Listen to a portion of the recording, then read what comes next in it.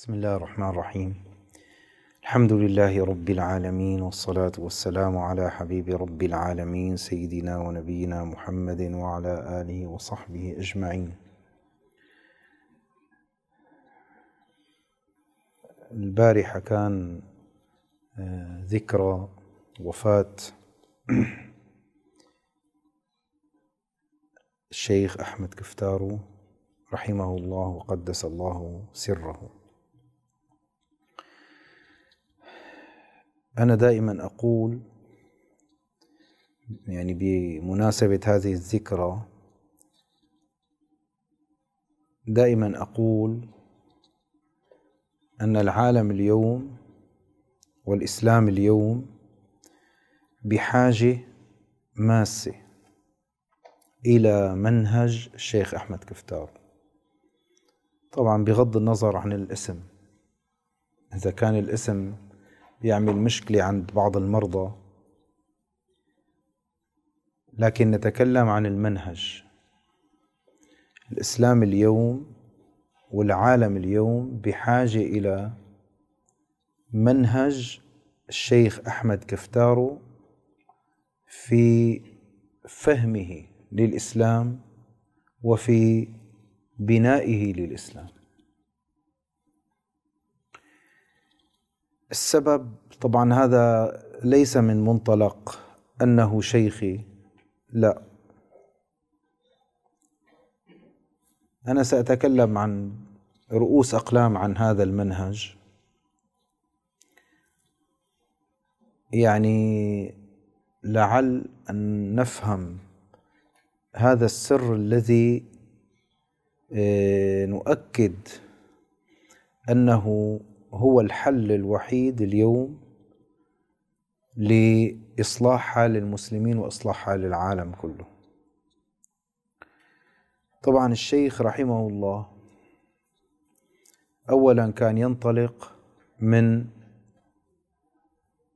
كشخص مؤمن كإنسان مؤمن ينطلق من التصوف.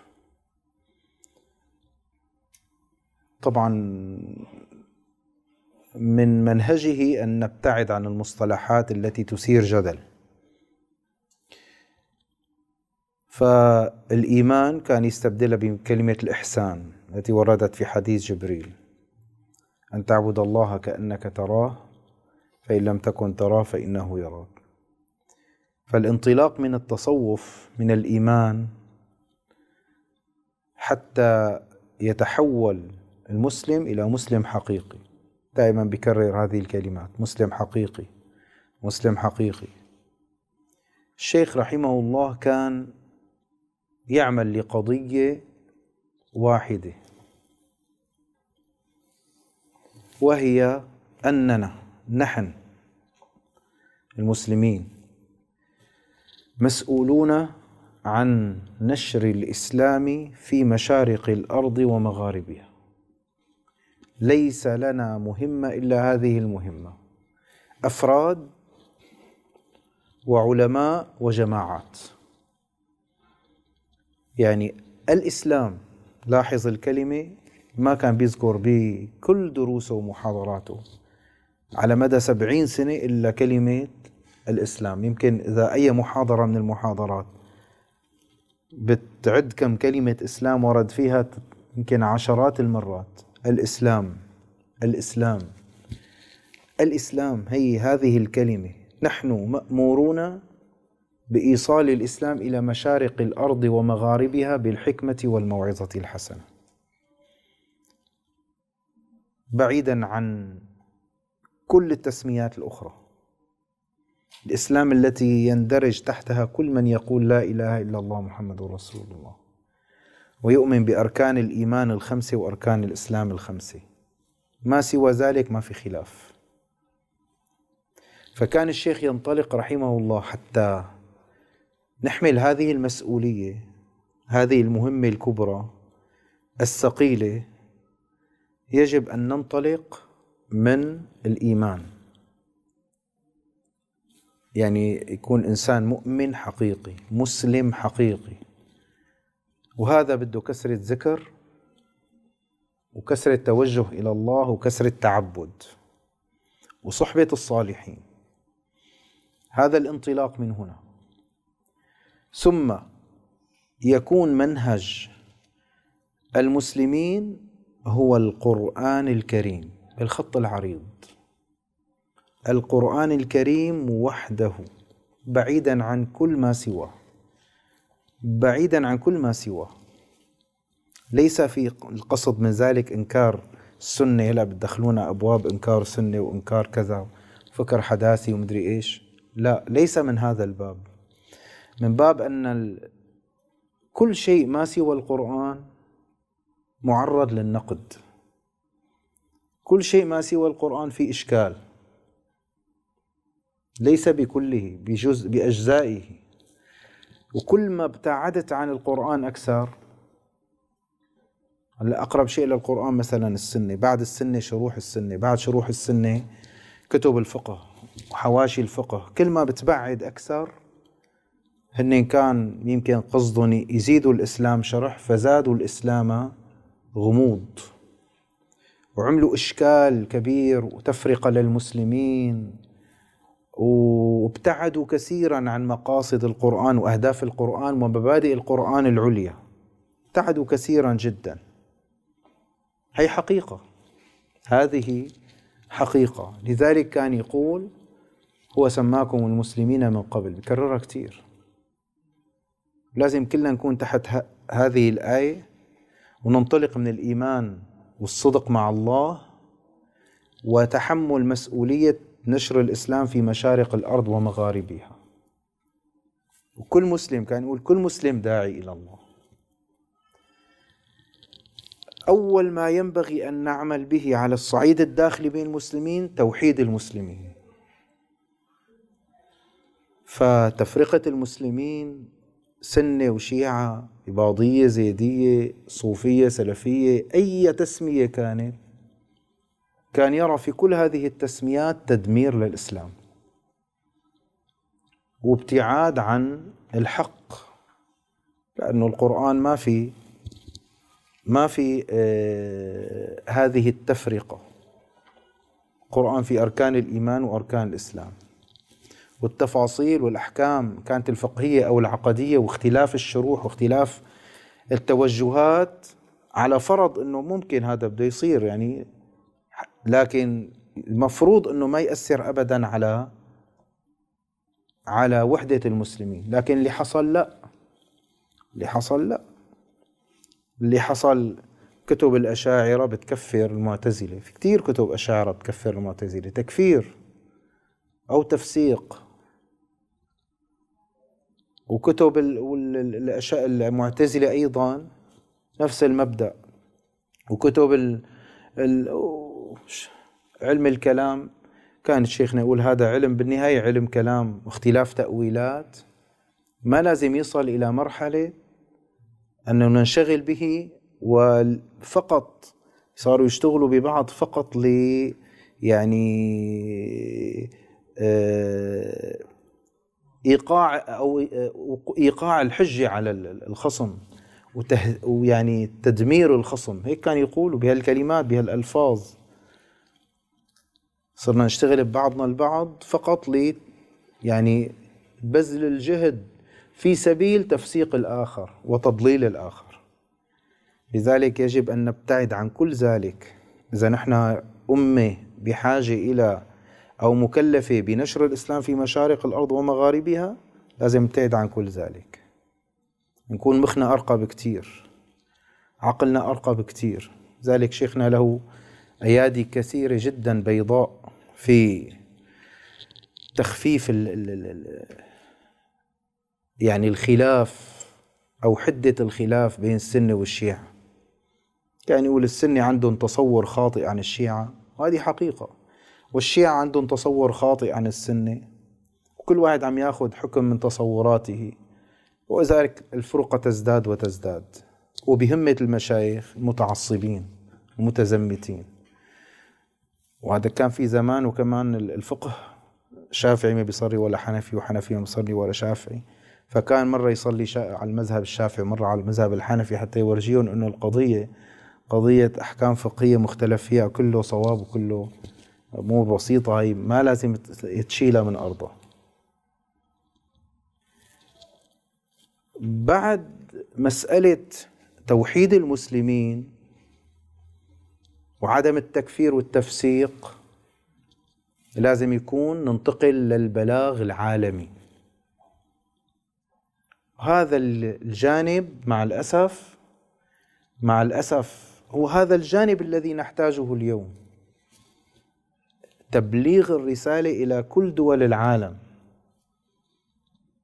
يا ريت وإن كان هذا حصل للشيخ بطريق غير مباشر. كان شيخنا يقول لو كان عندي قناة فضائية لو بيقدر الإنسان يصل طبعا كان في تعتيم إعلامي على شيخنا. وتعتيم إعلامي ليس داخلي فقط وخارجي. ومع ذلك أظهره الله عز وجل. فكانت الفكرة كان شيخنا يقول لازم تكون في قنوات فضائية عالمية بهذا أول ما طلعت القنوات الفضائية. هلا الآن صار الموبايل أقوى من قناة فضائية. قناة يوتيوب أقوى من قناة فضائية. وبفضل الله عز وجل الآن دروس الشيخ تنتشر بشكل رهيب رهيب. يعني هذا ما دليل صدقه وإخلاصه. بعد موته ب 15 سنة كل يوم صفحات جديدة وآلاف المشاهدات بمجرد ما ينزل الفيديو آلاف المشاهدات ليس من إخوانه فقط. كثير ناس تواصلوا معي قالوا كنا إحنا نسمع بالشيخ محمد كفتارو بس ما كنا نعرف أفكاره من دول أخرى يعني غير غير آه، سوريا. فشيء رائع جدا. ليش مخبى عنا كان هذا ال هذا الفكر هذا العقل؟ مشايخ وغير مشايخ. فالفكرة شيخنا عم يقول لازم ننتقل للبلاغ العالمي. بالبلاغ العالمي أنت مكلف أن تحيي هذا العالم كله بالإسلام. ما تجيب الواحد تقول له تعال أسلم. لا ولكن تتحدث عن جمال الإسلام فحسب. فإذا تكلمت عن جمال الإسلام كان يقول مثل الوردة ما بتقدر الوردة تقول لك لا تشمني وتشم ريحتي الطيبة. أنت بس طلع الوردة كله بيشم ريحتها الطيبة أظهر الوردة بحقيقتها. أظهرها بدون حواجب أو حجب. أظهرها بدون موانع بدون مشوهات. فبتصل بالنهاية ل كل الناس بتقول هذا الورد جميل والرائحة جميلة. وهكذا الإسلام ينتشر لا ينتشر إلا بهذه الطريقة. أما صراعات وندوات وحوارات عنيفة الله يرحمه كان قالوا له على الشيخ أحمد ديدات بزمان وكان يناقش المسيحية بشدة وعنف ويخزيهم قدام المجامع كبيرة يعني. فلما قالوا له شيخنا هيك عم يشتغل الشيخ أحمد ديدات وكذا قال الله يرزقنا الحكمة يا ابني. هذا بينفر الناس من الدين أكثر من ما يؤلف الناس ويدعوها إلى الإسلام. لما تنشر الإسلام الحقيقي الإسلام الجميل الوردة اللي حكاها تظهر هذا الورد كل الناس تحبه. فكان شيخنا قلبه بكل ما في معنى الكلمة رباني إنساني يحترم كل الإنسان ويقول كل الناس فيها خير. ناس تعترض عليه. معقول الملحد في خير؟ كان يقول يا ابني الملحد نصف مؤمن. لأنه كفر بالمذاهب أو بالعقائد الخرافية اللي ما بتوافق العقل في بداية عصر الحداثة. ثلاثة واحد واحد ثلاثة. فكفر بهذه العقائد الخرافية بكهنوت الكنيسة وكرسي الغفران وهالكلام هذا. فكفر في هذا نصف إيمان. هذا دليل هذا كان يحتاج إلى من يقول له اللي عم تبحث عنه هذا هو. الإسلام العقلاني الإسلام الناضج الإسلام الحكيم الإسلام الواسع الإسلام الإنساني إنساني إنساني بكل معنى الكلمة. الإنسان اللي الإسلام اللي بيرقى بالإنسان دينا ودنيا. الإسلام اللي هو إسلام السلام. ما بتظهر لهم يا إسلام جهاد وقتال وعنف وذبح وتقطيع رؤوس. فالإسلام هذا الإسلام الجميل فقط أنت أظهره شوف الناس كيف الناس ونجح في هذا؟ لا طبعا. نجح أشد النجاح. ما في بكل دول العالم خاصة العالم الغربي كل الناس تحترم هذا الاسم. لو ما دخل في الإسلام لكنه يحترم الإسلام لأنه تكلم بهذا الكلام. القضية ما قضية بيوم وليلة؟ يعني بدك تبلغ الإسلام إلى مشارق الأرض ومغاربها بيوم وليلة يعني انتهى كل شيء وكل الناس تدخل في الإسلام. شو نحن وين قاعدين؟ أنت عليك تبلغ هذه الرسالة العالمية. إسلام عالمي. إسلام ليس لسوريا ومصر والجزائر وتركيا. إسلام كافة للناس بشيرا ونذيرا. ورحمة للعالمين. فوين علماء المسلمين ليش ما بيشتغلوا بهذا المجال الإنساني العالمي؟ هنا هنا النقطة. يعني إذا وجدت علماء مسلمين بيحبوا وحدة المسلمين ما بيحبوا تفرقة المسلمين إيه، عندهم قلب يعني يسع يسع المسلمين تجد هذا لكن في المجال العالمي أين هذا العالم اللي بده يصل إلى قلوب أعداء الإسلام؟ طائفة الأوموتو كيف حبوا الإسلام؟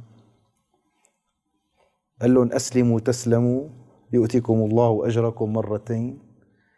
لأنه في فهم خاطئ كان شيخنا هذا من جملة منهج شيخنا أنه يفهم الإسلام بعمومياته وأصوله. العامة. أما التطبيقات اللي كانت في زمن السنة النبوية أو الموجودة في السنة النبوية هذه التطبيقات تتغير. تغير مع تغير الزمان والمكان والحاجة. كله بده يتغير. أما الأصول العامة والمبادئ العامة هذه هي هي المنهج النبوي الذي يجب أن نعمل به. فكانوا يفهموا المنهج النبوي كل المشايخ. مع احترامنا كلهم أحسن منا لكن يفهموا بفهم دقيق. لذلك كان الشيخ آه، حقيقة مثل ما من يومين كتب أو امبارح كتب آه، أستاذ صلاح ابنه أنه كان مثير للجدل. حقيقة هيك كان. كان مثير للجدل. لماذا؟ لأنه كان جريء. كان جريء. ما أخذ التوب اللي كان الموجود في زمانه زمانه كان زمانه كان صوفي راهب أو فقيه جامد. هيك المشايخ كانوا. الحمد لله لا صوفي راهب ما عاد فيه بالمرة. ما عاد صفي زهد. هو التصوف زهد ما عاد صفي زهد عند الصوفية. أو فقيه جامد لا يزال الفقهاء أغلبهم على هذه العقلية. فكان العلماء في زمانه كل الإسلام عندهم هو الاختيار الحنفي والشربيني للشافعي وهكذا. هذا كل الإسلام عندهم. وكأنه وحي نزل من السماء. فكان الشيخ جريء. ما كل هذا الأحكام مو كل الأحكام نقبل فيها. بعضها بنقبل بعضها ما بنقبل. بعضها قائم على التعصب بعضها قائم بدوافع آه، عاطفية بعدها بعضها بعضها بعضها. فما بنقبل بكل شيء وما بنقبل بالمذهبية اللي أنتم بتصوروها. لاحظت؟ ففي جرأة كان لذلك كانوا لما كان يحاور المسيحيين وأدخلهم إلى المسجد وعمل احتفال كبير بعيد مولد السيد المسيح شوف أنت الجرأة شوف الفكر شوف البعد. فطلعوا جماعة آه، هذول إلى الآن موجودين بكل مكان. بس يكون إنسان عنده فكر عالمي فكر جامع. صار بيصير ماسوني وبيصير مدري إيش وعم يقبض مصاري من السفارة الأمريكية ومن الحكي هذا. فلذلك الكل كان يحترم الإسلام الذي حتى الكلمة اللي كان يحكيها شيخنا كلمة خالد بكداش كان زعيم الشيوعيين بسوريا. كان يقول له لحافظ الأسد أنه الإسلام الذي أسمعه من المفتي أضعه على رأسي. بس تبع المشايخ والله أنا منه براء. طبعا ليش؟ لأنه الشيخ عم يورجيه الإسلام حضاري إسلام راقي إسلام علم إسلام حياة الإسلام هن عم يورجوك الإسلام محصور بهالكتب الصفراء القديمة وإذا تتجاوزها الويل ثم الويل ثم الويل لك. وطلاب اليوم إلى الآن على هذا المنهج على فكرة. ما تغيروا ما بيتغيروا. فالشيخ إذا في الفكر الإسلامي العالمي يعني قلب بالمعنى العامي قلب شيخنا كبير كان. رباني بكل ما في معنى الكلمة. هلأ أنت يا ترى لو لو بعث الآن مثلا مثلا مثلا بين قوسين للعشر مرات مثلا لو بعث الآن نبي من الأنبياء مثلا طبعا ما في نبي. خاتم الأنبياء سيدنا محمد. فما واحد يقطعها هلأ ويقصها و... فلو بعث نبي من الأنبياء مثلا على فرض شو بيساوي؟ بيجمع الناس بيروح يقاتل أمريكا؟ آه. ولا بيدعي الناس بالحكمة والموعظة الحسنة؟ يخلي الناس كلها تقتنع بكلامه بربانيته؟ آه. ويكون في تأييد إلهي طبعا له. وهذا اللي كان الشيخ يدعو له. يعني إذا بدك تجيب مسيحي لازم تكفره. أنت أنت لست حاكما عليه ولكن أنت طبيبا تداوي مرضه. عنده مشكلة هو. اقنعه احكي معه. عرض عليه الإسلام. ما عرض عليه الإسلام يعني أسلم. يعني ش... تكلم عن الإسلام أمامه. وإذا بتلاحظوا طبعا هالكلمتين هلأ ما في مجال نشرح. موجود بكتابي رحلة وفاء. كثير من المواقف. لو بتشوف ألفاظ الشيخ لما يكون جالس مع رجال الدين المسيحي وغير المسيحي. اللفظ اختيار الألفاظ كان دقيق جدا. ولطيف جدا. سبحان العاطي. سبحان العاطي. ويأتي بالمعنى بكل ما هو. نفس المعنى ممكن أنت تتكلم بهذا المعنى بصيغة تنفيرية. تخليه يسبك ويسب الإسلام. آه؟ فالله يرحمه قدس سره. فهذا القلب الكبير القلب الجامع الحكيم الحكيم اللي كان ما قال كان يقول شيخنا يضع الأمور في مواضعها. هذا اللي نحتاجه اليوم.